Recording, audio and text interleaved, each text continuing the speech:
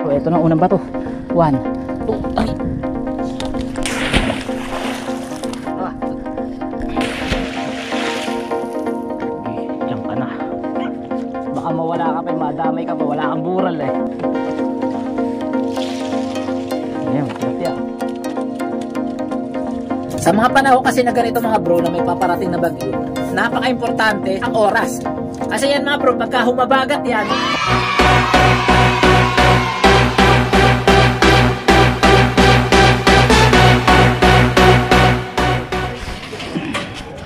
bubuntogan nyo na ng yung lambat. ah. Hmm, baka madala na naman ay.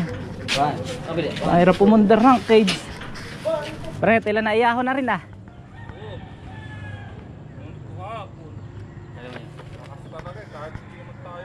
Oh, kahit hindi, kahit hindi magsentro talagang ano, lalakas. Wala nang iwas.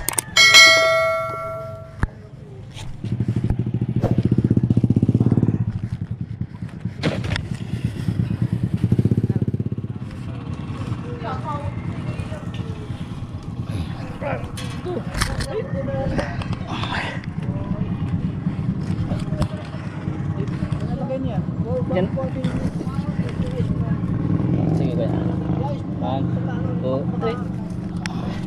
Makikiling yan. Yo, what's up? Good morning sa inyo lahat mga bro. Mapagpalang umaga sa ating lahat. So ito na yata yung pinakamalakas na bagyo na mararanasan natin ngayon dito sa Laguna Lake ngayong taon. Ang bagyong Pipito. Bagamat malayo pa siya mga bro at nasa dagat pa, kailangan kailangan natin siyang paghandaan dahil ang takbo ng bagyo ay napakalapit dito sa ating lugar sa Calabarzon. Kahapon nga mga bro, nakita natin sa track ng pag-asa na halos dito talaga sa Calabarzon, Bicol ang magiging sentro ng bagyo. Kaya yun, lahat na magagawa natin na paghahanda mga bro ay gagawin natin. So yan, makasama natin mga bro. Si manager mag-ano na, mag-harvest na mga bro. Ah, force harvest kahit mababa presyo ng isda mga bro. Ah, kailangan i-harvest. Ayan, shout out sa lahat ng mga ano natin. Mga mamumukot si Kuya Dong. Oh. So, halos lahat ng mga may palakaya dito mga bro naghahanda na sa bagyo na paparating. Kasi talagang ano, malakas yung bagyo. Ayun, kita nyo mga bro. Ah, kahit sobrang baba ngayon ang presyo ng isda, ah, nag-ano sila, nag-harvest na. Para ano, para yung mga isda nilang alaga, kahit papano ah, maging pera naman. Kasi talagang ano eh, ah, hindi man masentro tayo sa bagyo, ah, talagang i-epekto pa rin sa atin dahil napakalapit talaga sa atin ng bagyong Pipito. Ngayong umaga maglalagay tayo ng mga bural. Ah, malalaking bato. Ayan oh. So halos hindi kaya ng isang tao mga bro. Sa ating mga cage. Kagawad. Kagawad, good morning. Kuya Nelson.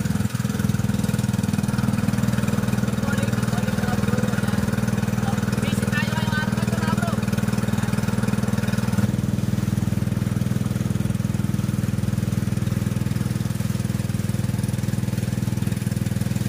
Yan mga bro, narito na tayo sa unang fish cage na lalagyan natin ng ano, ng bural. So ito mga bro, yung mga fish cage natin. Oh. Ayan. So yan, kung mapapansin nyo, may mga bali pa rin na kawayan. Ah, ano pa rin yan, dahil sa bagyo dati no, nakaraan na si Christine. At yung iba, nilagyan na rin natin mga bro ng mga, ano, mga ulip na kawayan kahapon. Kahapon, kaya hindi tayo nakapag-vlog, wala tayong tigil sa ano, sa trabaho. Hindi na natin maasikaso, ngayon lang tayo makakapag-vlog talaga. So ang ilagay natin dito mga bro, yung pinakamalaki. Ah. Ito, lagyan muna natin palantaw mamaya na pagsisid mo, pagbababaan eh. Tsaka mo kuhanin na eh. Paglulubog na lang natin, tsaka natin itali. Yung ito. Hindi, lalagyan ko ng palantaw. Ah sige, idiyan na lang sa tulos. Mga bro, ito na unang bato. One, two, three.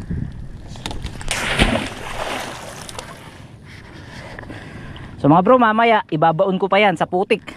Paglulubugan natin yan para sigurado na hindi siya madadala o mabubunot. Tali mo muna doon. Pag naman nadala pa yan sa laki niyan. Talagang malakas ang bagyo mga bro eh. So yung mga aso mamaya na natin iuwi mga bro. Oh, kunin natin yan. Tapos yung mga palantaw na ganito mga bro, yung mga floater natin sa loob, at tatanggalin din natin yan para lumubog ang ating lambat.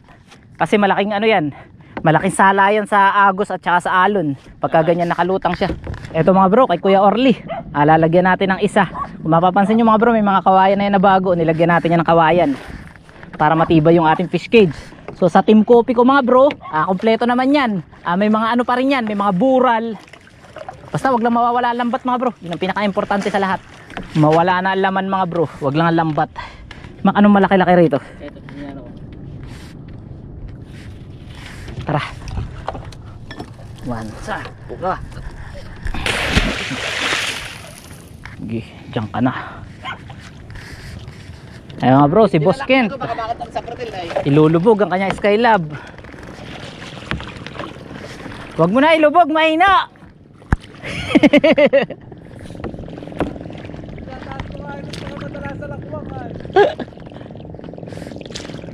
Lalagyan ko ng ba batong balaki ito ay. Hindi namin mabuhat yung nasa ano ay. Yung nasa kinagatan, hindi namin mabuhat. Yung gumulong.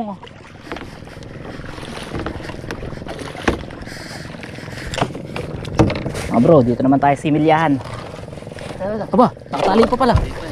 Teragis na yan, madadala pa. 1, 2, 3, go! 1, 2, 3. Mamaya mga bro, ibabaw natin yan.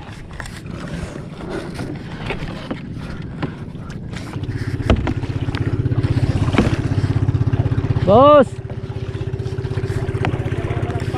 Lagyan ko na ng mga ano, balalaking bato. bato. So mga bro, yung ating skylab pa naman naayos na natin. Ayan, kung mapapansin nyo, nakatayo na uli. Kasi yun nga, dadaan na naman ng bagyo. Kung kaya natin mga bro, ilulubog natin yan. Mga bro, yung mga kawayan na nilagay natin kahapon na sobrang hahaba, ah, puputulan na natin. Para ano, para hindi siya makasala ng hangin. Ah, baka kasi mabunot pagka yung sobrang lakas talaga ng bagyo. Ah, iniiwasan natin yun. Kaya ayan, kailangan natin siya putulin. Tol, kunin mo nga yung ano, pag gagawin natin ng sagwan. Yan mga bro, dahil isa yung lagari na dala natin. Ah, nag-away na yung ating aso. Gusto na yata magpa-uwi, no? So, mamaya na natin iuwi. So yan, dahil isa nga lang yung ating ano, itong ating lagari. So gagawin natin mga bro ay tatalo na tayo dahil yung mga pataw, yung mga palantaw, tatanggalin na natin para mailubog na natin. So ako, magbabasa na tayo mga bro. Ay mga bro, mapapansin nyo, grabe na ang ating itsura. Kasi kahapon, talaga maghapon tayo nagtrabaho dito. So yun, tatalon muna ako mga bro. At ano, lamigan na naman to. So si Kagawad na lang muna bahala dito sa ano sa bangka. So tayo, kailangan natin ng pamputol tsaka sikwan. Ito, kailangan natin to. Itong ating ano. Tapos, kailangan rin natin ng sikwan para pantahi. So tara. Two hours later. Yan mga bro, ah, narito na tayo sa may kubo at kakain muna tayo ngayon. Ang oras natin ngayon, alas 9 ng umaga, ah, 9.17. At yan, meron tayong baon na kanin. So maaga tayong pumunta dito kanina mga bro. Ah, pumunta tayo dito kanina ng 6.30 am para magtrabaho nga. At yun, ayan mga bro, kung mapapansin nyo yung ating mga fish cage doon, Ayan o, medyo maikli na yung putol ng kawayan. So malaking bagay yan mga bro sa sobrang lakas ng hangin. Pagka sobrang taas ng kawayan, ito puputulan pa natin yan. Pag sobrang taas ng kawayan mga bro at medyo humapay siya sa hangin, ah, ano yun eh, mabigat yun eh. Kaya kailangan putulan natin. Yung ginawa natin na ganyan mga bro, sobrang laking bagay niyan. Ah, tapos yun nga, nailubog na natin yung ating mga fish cage. Nakakalubog na yan. Bali ang lubog niyan mga bro sa pinaang ibabaw ng ano, ng tubig, ng lawa. Ah, mga isang tao, yung ganyan. Mga 5 feet. Ah, yung ganong kalalim mga bro, ay hindi na siya maano ng alon, tsaka malakas na hangin. Kahit malalaki pa yung alon mga bro, medyo ano, medyo safe siya dun sa ilalim. Ang kalaban lang niyan talaga yung agos. Kasi yung agos talaga pagka may bagyo mga bro, sobrang lakas. Ah, pero malaking bagay na yun, ginawa natin na nailubog natin. At nakita nyo kanina mga bro na naglagay nga tayo ng mga bato na malalaki. So kanina, ah, sinisid na ni Kagawad. Ah, inabot mo pa ba ang putik ngayon? Naabot mo pa? Ab- hindi na. so hindi na abot ni Kagawad yung putik. So mamaya subukan ko, tingnan natin kung kaya kong ibaon yung bato na nilagay natin. At pag hindi talaga kaya mga bro, ay ano, o kontakin natin si ano si Manoy, yung ating katulong kahapon. Kahapon kasi mga bro, maghapon tayo na naggawa rin dito. Ah, yun, marami tayong katulong kahapon. Tatlo, si Chong Ato, si Manoy, at saka si Parikoy Jeric. Ah, si Kagawad, sumunod na lang. Pero nakaabot pa si Kagawad sa trabaho kasi si Kagawad may meeting kahapon. Kaya maraming salamat sa mga nakasama natin kahapon. Di na lang talaga tayo nakapag-vlog mga bro dahil sa sobrang busy natin. At ngayon, ah, dalawa kami ni Kagawad. Pagkatapos natin dito sa cage, punta tayo ng Similyahan. Tapos siguro mamayang hapon, o bukas ng umaga kasi tingin ko bukas ng umaga kalma pa yan. Sa pispan na tayo magpo-focus at ibababa na natin yung mga lambat ibabagsak na natin ilalagmak na natin. So ganun ang gagawin natin. Ayan si Kagawad kumakain na. So ang ulam natin ngayon mga bro meron tayong tosino. Ayan. Ayan si Kagawad sarap na ulam ni Kagawad. Kagawad. Magandang ma Kaya magandang araw sa nila ito mga bro. Ah, nais ko lang batiin si ano ang ang head ng ah, MDRM si Sir June ah, Hernandez at si Sir Neil. Ayan Perer dyan sa MDRM Binungonan ayan sa may municipal. Ayan sila ang ating head sa disaster. Ayan. So napaka-busy namin ngayon lahat. Ayan ano mga disaster. Shoutout sa inyo lahat. Ayan, shoutout sa lahat ng mga may palakaya dito sa Lawa na Laguna Lake. Ayun mga bro, nagtatanggal sila ng Skylab. Si Boss Kent doon, nagtatanggal din ng Skylab. Tatlo pala to mga bro, meron pa tayo mamaya. So mga bro, kain tayo, tosino. Ayan. Ah, kay pare ko Jeric pala to mga bro, sana. Ah, hindi kasi natin nakakita, kukuhanin sana ulit natin. Hirap maghanap kasi ng mga ano ngayon, ng makakatulong. Ayan, si pare ko ano, hindi natin alam kung saan siya sumideline. Ah, baka katulong yung kanyang biyanan kasi yung biyanan niya mga bro marami rin fish cage o yung kanyang tatay meron din kasing skylab ay sa ngayon mga bro kanya-kanya talaga lahat ng mga manging isda at todo ang handa sa paparating na bagyo no? Kain tayo mga bro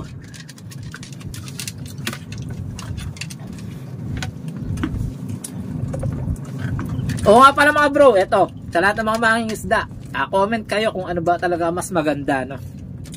So, nagiging pagtatalo kasi ito sa may mga fish cage. Nagiging minsan, nagiging ano, ah, nagiging sentro ng debate minsan. So, para sa lahat ng mga manging isda at may mga fish cage, sa tingin nyo mga bro, ano ba talaga ang mas maganda? Bato bang gamitin o bural? Buwan na kahoy. So yung bural po kasi mga bro, bural na kawayan, yung po yung ano, yung mga isang di pa ang haba, tapos may mga sanga-sanga, yun po ay niyuyut-yutan sa putik para po bumaon. Yung sa atin naman na bural na ginawa mga bro, ay isang malaking bato na talagang hindi kayang buhatin ng isang bat na isang tao. At dalawang tao talaga magbubuhat. So kaya naman ng isang tao pero hirap. Madalas namin yung pag-anuan, kung ano ba talaga mas maganda sa dalawa. Ah, bural na kawayan o bural na bato tarungkal ang tawag ng iba. Sa atin kasi mga bro, sa tingin ko halos parehas lang na. Kung talagang madadala ang iyong fish cage, wala ka talagang magagawa. Ah, depende rin sa lakas talaga ng bagyo. Depende sa lakas ng bagyo. Kasi kung maaalala nyo, kung napanood nyo yung vlog ni nung kaibigan natin, si Fingerlings, dyan sa Kalinawan, kaibigan natin yan mga bro. Eh. Ah, meron siyang vlog na ano, na pagkatapos ng bagyong Christine, subo muna tayo. Nabunot yung mga tarungkal na inilagay niya ng mga kawayan. Nabunot dahil sa lakas ng bagyong Christine. Nagbibiroan pa nga sila noon mga bro, sina Fingerlings. Sabi nila kasi daw si Jaren daw nagba, nagbaon, nagyut-yut. Kasi niyuyut-yutan yung mga bro, di ba? Eh, alam niyo naman si Jaren, yung kaibigan niya, medyo maliit yung mga katawan nun. Kaya parang nagkakabiruan sila. So, ganun po mga bro. Naka, ano yan, depende sa lakas ng bagyo eh. Kung talagang malakas ang bagyo mga bro, ang tarungkal, at saka bato, tingin ko parehas ma, ano rin eh, no? Yun nga lang, mas maganda kung meron kang ganun. Kasi, kumbaga, suporta natin yan sa fish cage natin para hindi mawala eh. Totol, ano masasabi mo sa ganun? Kasi ano eh, parang sa akin na pananaw, Hmm. ano, nagagandaan ako sa bato. Sa experience kasi natin, hindi pa tayo nawawalan. Ano? Kasi yung bato kasi, mabigat na yan. Kahit anong hila na yan, hindi mabubunot yan. Maaaring nado pa rin sa nila ng tubig, madadala siya. Pero, Pero, sa pailalim. pailalim siya ng pailalim. Ganyan na yun. Habang humihila siya, bumabong sa putik. Yun lang ang aking pananaw. Yung tarungkal kasi pag nabunot talagang wala na. Kasi may experience din tayo dito isang cage na umatras lang Umatras. yung bato. Pero nandun pa rin. Malakas yung bagyo ngayon. Wala kasi. Eh, ano nangyayari sa bato mga bro? Nabubunot siya, naba, bumabago, pero ang nalalaban pa rin siya dahil yung bato nakalubog pa rin sa ano sa lawa, di ba? So yun lang naman. Yun lang yung aming ano. Ayan, basta yan. Ano? Huwag na natin pagtalunan kung ano maganda dyan sa dalawang yan. Basta ang importante, pag may dumadating na ganitong kalamidad, ganitong bagyo, nagiging handa tayo para sa ating mga ano, mga business, palakaya. Lagi natin sinasabi mga bro, mawala na yung ating mga alagang isda, mabutas man yan, makatakas man yan sa wild, buhay naman yan, mabubuhay yan sa ano, at makikinabang dyan yung mga manging isda. Ang importante, wag lang mawala yung ating lambat. Bakit? Napakahirap pong pumundar ng lambat mga bro. Magkano na po isang bundle ngayon na Super G? Nasa 22, 22,000. So pag nawalan tayo mga bro ng ano, ng lambat, nako, malaking damage sa atin yun. So tat mo naman lahat ng ano, mga manging isda dito na sinatalim islander, ah si Buyo kaya nakapagtanggal na kaya ng scale up niya. Yan, shoutout sa aming ano. Uh, lahat ng mga isda rito, sa mga content creator natin na may mga palakaya, sina bro Emerson, bro Laguna Lake TV, bro Tal ah, si Talim Islander, si Nabuyo, kaya si Ate Kay, si Albert, si Albert, sa si Joseph, Ayan. Joseph, ah marami pa. Ang shoutout sa inyo lahat. Ayan ano si ano si Kapuso dahil si Sir Alvin, si Katian, ayan, si Robinson, shoutout sa inyo. At ayan, handa tayo. Siyempre sa lahat ng mga isda na may mga palakaya, uh, paghandaan po natin. Pagkatapos nito, ah, dito sa dagat, meron naman po kami session sa barangay yan, para sa disaster. Yan po para mabigyan din natin ng kalaman ng ating mga barangay. Ay ikot po tayo sa ating barangay mamaya or bukas kasi mamaya yung meeting namin. Ayan. Ingat tayo lahat. Mga bro, itong ating inuupuan na landing ng ating kubo, mamaya uhudyagin na natin to. Dahil ano, baka ito pa yung maging dahilan para masira yung ating kubo. Dahil ito mga bro, aabutin to ng alon eh. Aabutin na. Baka ito pa yung makasira ng kubo natin, kaya yung mga sahig na ganito, sasabit ko na lang dito. Sa babaw. Sa mga panahon kasi na ganito mga bro na may paparating na bagyo, napaka-importante na ang oras. Kasi yan mga bro, pagka humabagat yan, wala nang tigil eh. Pag humabagat yan mga bro, wala nang tigil yan. Dire-diretso na. Basta hindi na tayo nakalaot. Yan mga bro, tapos na tayo na kumain. Busog. Mga bro, may dala ako ng ganito. Yung kutsilyo natin. Galing pa ng bagyo eh. Ayan. Kasi pagka tumatalon ka mga bro, ah, kailangan meron kang dalang ganyan. Nakakatakot yung mga ano mga kitang. Yung mga kasama natin mangingisda ng mga mangingitang kasi mga bro, minsan kumakalat yan malapit sa fish cage. So pag nakahuli ng knife fish na malaki, humahanap yan kung saan siya pwede sumuot. Minsan sumusuot sa ilalim ng fish cage, umiikot sa ating mga kawayan, sa mga bural. Kaya yun, karamihan sa mga bural natin mga bro, may mga kitang. At napakadelikado noon. Pag sumisisid tayo kasi baka makawitan tayo mga bro ng ano ng sima o ng ano ng kawil. Eh naku, napaka ano, napakadelikado sa atin. Kaya lagi ako may dala na ganito. Ayan, pamputol. Kaya po kami nakikiusap sa mga Kaya kami nakikiusap din sa mga kaibigan natin ng mga kasama natin mangingisda na mangingitang. Ay baka naman pwede pagka kayo ay magkikitang. Medyo lumayo na lang po tayo sa mga fish cage kasi ano, ang isipin nyo na lang yung ano, yung safe nung ano, nung mangingisda natin kasama, yung mga magpi-fish cage kasi lagi yan nagbibisita, lagi yan sumisisid. Ay napakadelikado po talaga nung kitang. Yun lang po ang kinakatakutan din namin dito ni Kagawad ay, yung kitang ay. Ano Kagawad? Muntik na tayo nung nakaraanan, muntik ka na. Ako, muntik na ako. Ay, Sumabit, Kagawad, muntik. sumabit yung kitang sa ano ko. Puti naka natanggal ko agad. Eh kung, Nakakasabit kasi damit iyan sa ganito. ah. Siyempre pag may kitang, eh kung hindi mo matanggal yung mga bro, di ba? nakaganyan Paano ka makakalutang doon para ka nahuli doon sa sa jigging. Ayun bro, Ah, kailangan pa rin natin maging positibo sa buhay kahit may pamarating na bagyo no. Hindi mo ah, hindi ka pa pala nakapagputol doon ah. Ito pa lang ako eh. Okay, trabaho ulit mga bro. Update update na lang mamaya. Ah, huwag kayong aalis sa ating vlog. Nagutom natin mga bro, pati yung kay pare ko Jeric sana oh. Nakain na natin. Sarap kumain dito sa lahat. Hmm, nasaan yung aso natin? Yun, nakasilip. A few moments later. Yan, time check natin mga bro, alas 11 ng umaga. At yun, ah, pahinga muna ulit kasi medyo nakakahilo yung init ng ano ng panahon. Ah, si Kagawa din nagpahinga muna. Ayan, pahinga rin tayo. Ayun, mga bro, ah, may iaahon tayo na isang lambat ngayon, yung lambat natin na ipunan. So kung maalala nyo yung maliit natin na fish cage na walang takip, ah, iaahon natin siya mga bro. Kanina itinanggal ko na yung mga tali niya sa ibabaw at sa ilalim. Hihilahin na lang natin, sasampan na lang natin dito sa ating bangka. So yun. Ay, grabe mga bro, kakapagod na.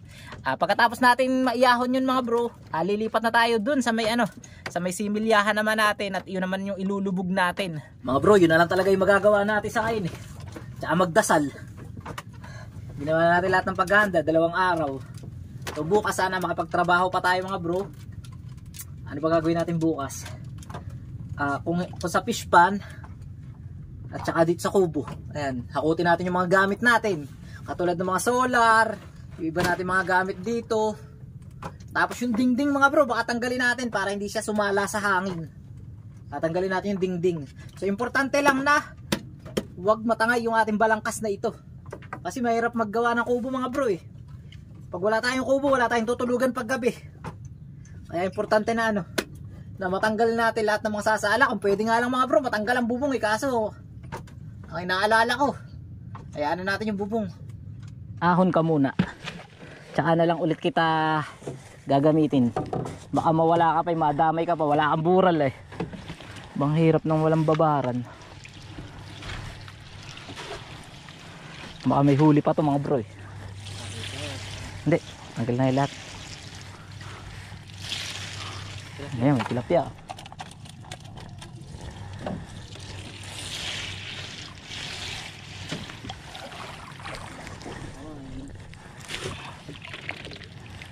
Natin. Sa isuso ah.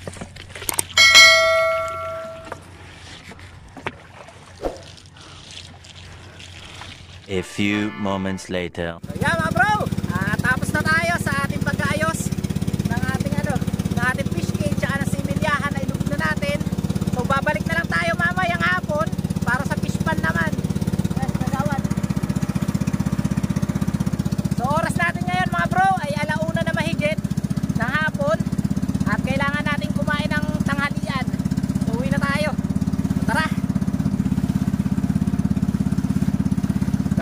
6 7